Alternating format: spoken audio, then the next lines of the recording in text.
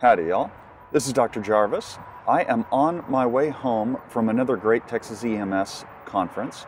And as I was driving down the road, I might have been checking my email and I saw another great question that I thought I could pull over since I had to go to the bathroom anyway, and uh, I could knock out a quick answer. So here is the question in elderly patients with supraventricular tachycardias, narrow complex supraventricular tachycardias, is there an increased risk for the patient going into asystole because they're elderly?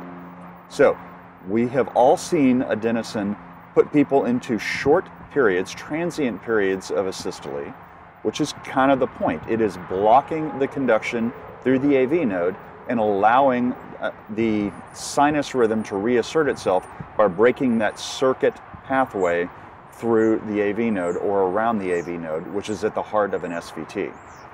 So the question is can that turn into a prolonged asystole in the elderly patients? And it's actually a great question because the only thing we can go by to answer this question is what does the literature say? Has this been reported? And the best that I can tell after a quick PubMed search is that there is no increased risk of asystole with adenocard in elderly patients. So, it is still safe to use in elderly patients. Here's an interesting question though. Is adenocard the best drug to be using in patients with SVT to begin with? Or is there another better option? And it turns out that calcium channel blockers may actually be a better option to begin with. So why is that? Well, one reason would be because calcium channel blockers may work better than adenosine.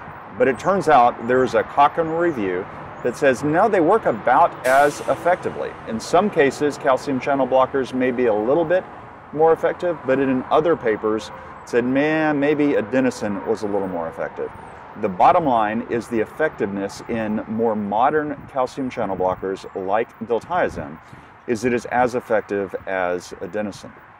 Okay, so why would it matter? Well, one reason it would matter is adenosine is a very unpleasant medication to give patients.